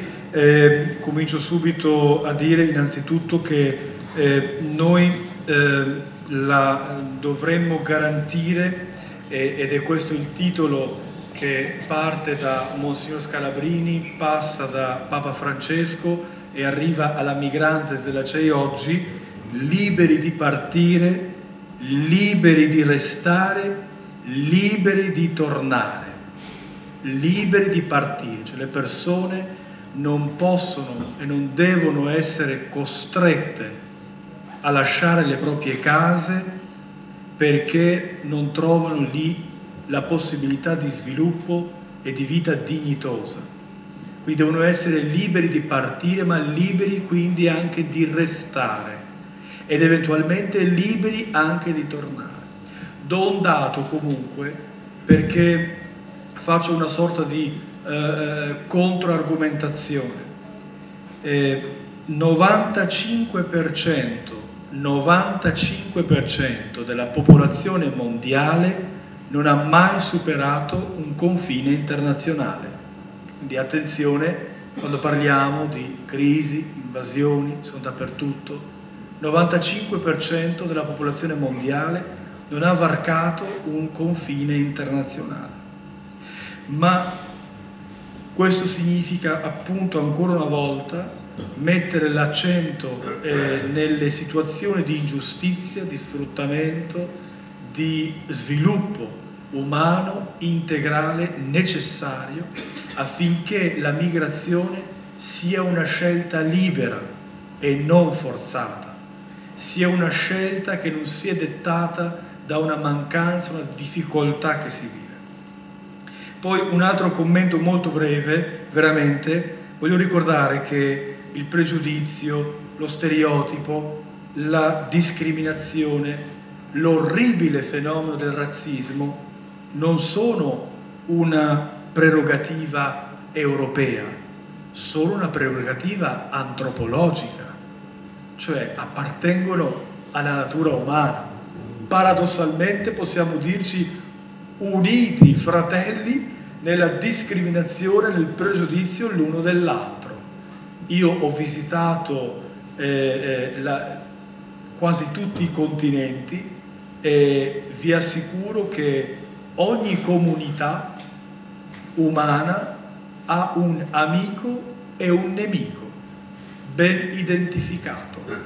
E questo significa che certamente non vanno sottovalutate queste situazioni, ma d'altra parte anche non vanno come dire, localizzate e cristallizzate in una sola comunità, in un solo contesto. Il razzismo, la discriminazione, lo stereotipo, il pregiudizio vanno affrontate come problemi antropologici, cioè appartenenti a quelle dinamiche umane di uomini e donne che vivono all'interno della comunità.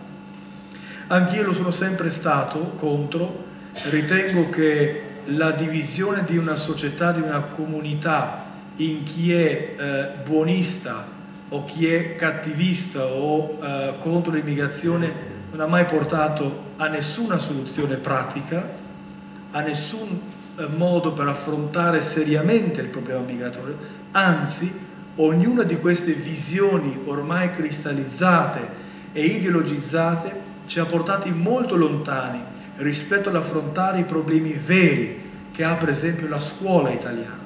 La scuola italiana è, ha una tradizione profondamente universalistica, aperta. È stato un motore negli anni 90, ma non solo, anche negli anni 80, è stato un motore di sviluppo di un processo di pedagogia interculturale molto bello e molto importante, ma che ahimè in questi ultimi anni ha trovato per una sorta, eh, per una sorta di situazioni extrascolastiche, non legate quindi all'interno della scuola, ma extrascolastiche, come erano quegli esempi che anche, anche lei riportava, a fare della scuola italiana una sorta di problema, non come dovrebbe essere un valore e una soluzione del problema del multiculturalismo e dell'interculturalità oggi in Italia. Non basta lavorare bene con i bambini, bisogna lavorare bene anche con i genitori.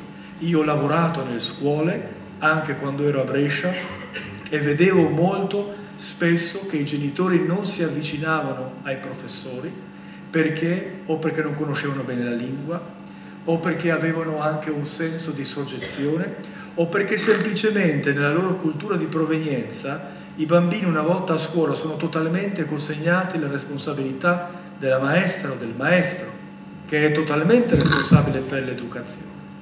Allora potenziare la scuola significa non fare un favore ai migranti, non essere buonisti, ma significa mettere le fondamenta per una società, e dico una parola che non è uscita questa sera, ma forse doveva anche uscire, probabilmente perlomeno come provocazione, mettere le fondamenta per una società aperta, ma anche per una società più sicura, perché un individuo emarginato a causa anche della sua cultura e della sua provenienza e della sua religione, quella emarginazione, come ci insegna ancora una volta lo sociologo Obama, prima o poi diventa rivendicazione. Grazie.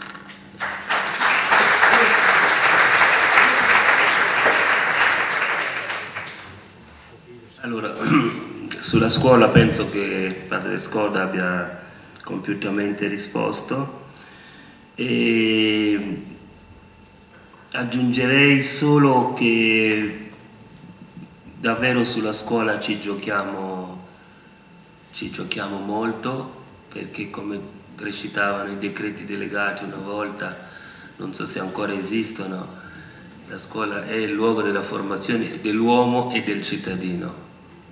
Era molto bella questa, questa definizione. Ora bisogna capire oggi, proprio in modo dinamico, che cos'è l'uomo italiano di oggi, che cos'è il nuovo cittadino italiano nelle sue, eh, come dire, nel suo pluralismo identitario, culturale, nelle sue origini, cioè l'uomo e il cittadino che dovremmo formare oggi si è arricchito di affluenti culturali, religiosi diversi che si, che, che, che si uniscono al, al, grande fiume Italia multisecolare. E, e, sarebbe lungo il discorso dell'integrazione, dell'accettazione delle culture le une con le altre, che cosa vuol dire integrazione, la questione innegabile di una certa eh, della, della presenza dell'Islam di un certo Islam anche. E tutti problemi estremamente complessi che intanto ci pongono di, di fronte all'identità. Io quando eh,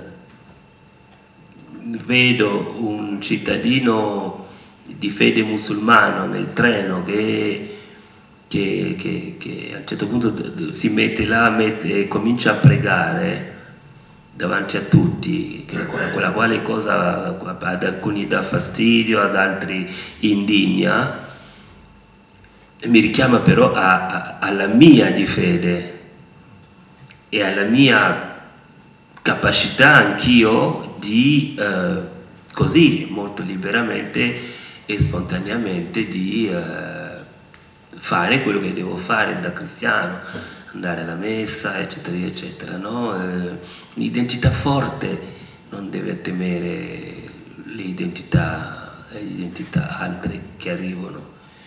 E, e, e mi ricordo sempre una parola molto saggia di Martini. In materia di cultura non bisogna togliere, bisogna aggiungere. È molto bella questa, non bisogna togliere, ma bisogna aggiungere. Però perché ci sia incontro bisogna che ci sia la, la dualità. E quindi il cortocircuito di valori, di trasmissione culturale che c'è tra le nuove generazioni e le generazioni che la precedono in Italia pone la questione che cosa, di co cosa parliamo quando parliamo di cultura, di patrimonio, di, di, della nostra identità, quando ci sono ragazzi che, che nascono e crescono a Roma non sanno che cos'è il Colosseo, che, che, che, cos'è la Roma rinascimentale, non si sono nutriti, abbeverati di quello che sono, che è il solco no? un po' della loro identità, rischia di essere qualcosa di vuoto che trema di fronte invece all'identità fieramente, orgogliosamente esibita dagli altri. Il problema però è tuo, non, non dell'altro.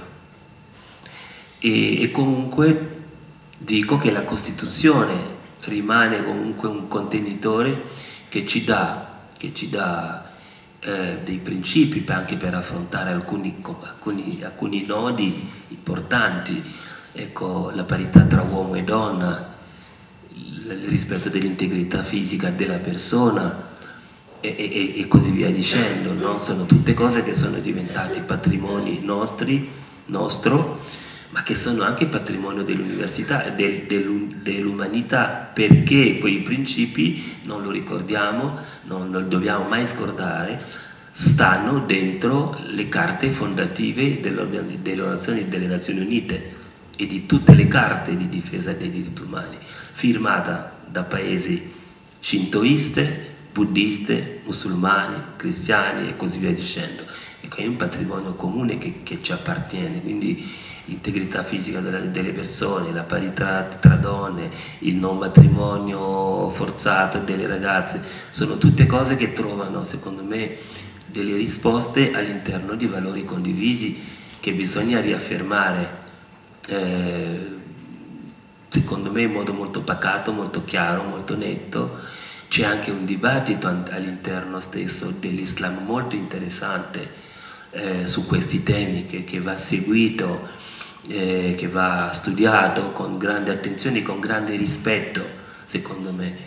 Eh, quindi sono questioni estremamente complesse che però meriterebbero un'altra, conferen un'altra conferenza. Velocemente la questione dello sviluppo economico. Eh, Bauman, più volte citato in questa, in questa serata, dice la globalizzazione è fatta da, da flussi, eh? flussi di merce, flussi di capitali e flussi di informazione.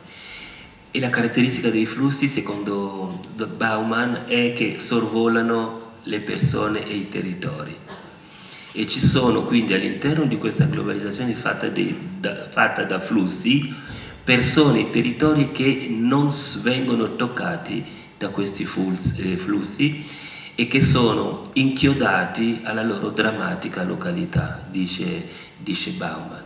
Quello che eh, Serge Latouche chiama eh, i naufraghi dello sviluppo, gli immigrati sono in qualche modo i naufraghi dello sviluppo e per quanto riguarda l'Africa sono i naufraghi di quella incapacità o impossibilità che l'Africa ha avuto dopo l'indipendenza di invertire il modello predatorio, cioè invertire quella divisione internazionale del lavoro che gli ha assegnato il ruolo esclusivo di esportatore di materie prime di natura minerale e vegetale.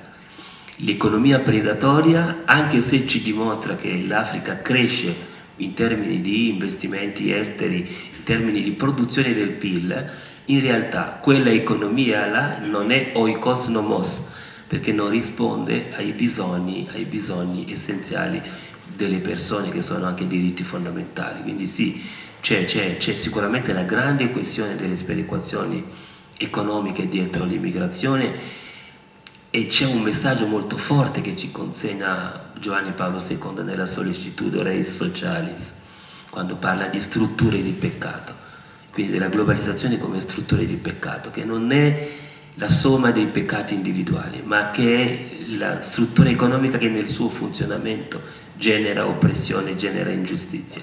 Allora non ci basta più curare la vittima dei banditi nella strada tra Gerusalemme e Gerico. Bisogna fare in modo che i banditi non passino più per quella strada lì.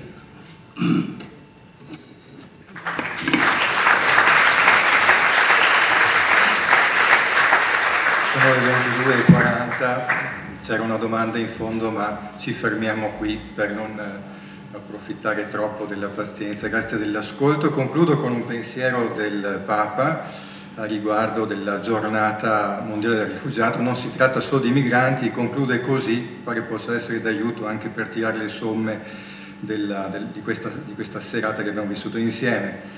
Non è in gioco solo la causa dei migranti, non è solo di loro che si tratta, ma di tutti noi, del presente, del futuro, della famiglia umana. I migranti, e specialmente quelli più vulnerabili, ci aiutano a leggere i segni dei tempi, attraverso di loro il Signore ci chiama a una conversione, a liberarci dagli esclusivismi, dall'indifferenza e dalla cultura dello scarto. Attraverso di loro il Signore ci invita a riappropriarci della nostra vita cristiana nella sua interezza e a contribuire, ciascuno secondo la propria vocazione, alla costruzione di un mondo sempre più rispondente al progetto di Dio. Ecco, ci aiuti il Signore a intraprendere e a sostenere questo cammino. Grazie dell'attenzione, grazie di essere venuti, grazie ai nostri relatori. Uscendo trovate del materiale che potete prendere liberamente, anche delle copie delle azioni. Grazie ancora e buona serata.